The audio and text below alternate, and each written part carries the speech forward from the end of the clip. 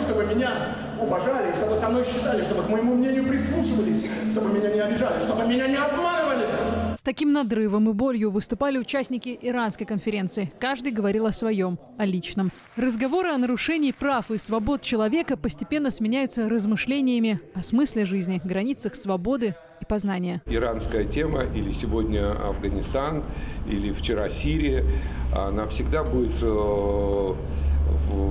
провокатором тех вопросов, которые задает себе каждый человек. Зачем я живу, почему я это делаю, почему я это, э, как я проживаю свою жизнь.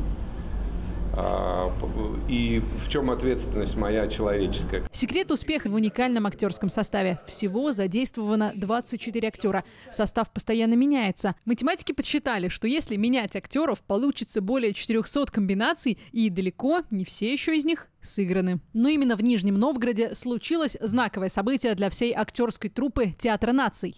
Мы играем уже два года, да? Так как вчера не было никогда. Но ну, некоторые, некоторые говорят, так никогда не молчали. И тишина, и реакции были точные.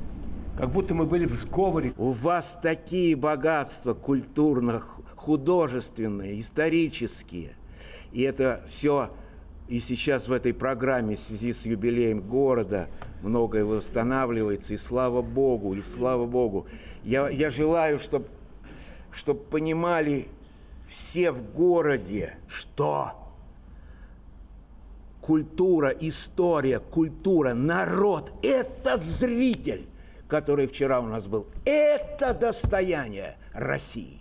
Это достояние. Спектакль «Иранская конференция» стал заключительным для фестиваля «Золотая маска». Проект «Золотой маски» – часть масштабной юбилейной программы, приуроченной к 800-летию города. На площадке театра юного зрителя состоялись показы спектаклей «Сон в летнюю ночь» мастерской Фоменко, «Старый дом» театра Центра драматургии и режиссуры и «Дети солнца» Новосибирского театра «Красный факел». Проблема вообще «Золотой маски» в том, что хотелось привести все.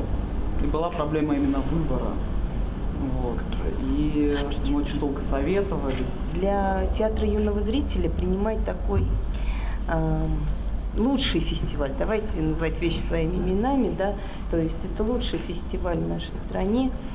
И для нас это большая честь и огромная ответственность. И, конечно, весь э, коллектив театра очень старается, чтобы э, всем нашим гостям было максимально комфортно. Организаторы надеются, что театральный праздник продолжится и в 2022 году, когда на фестиваль привезут новые спектакли. Александра Шеломцева, Любовь Шапко, Иван Масов. Время новостей.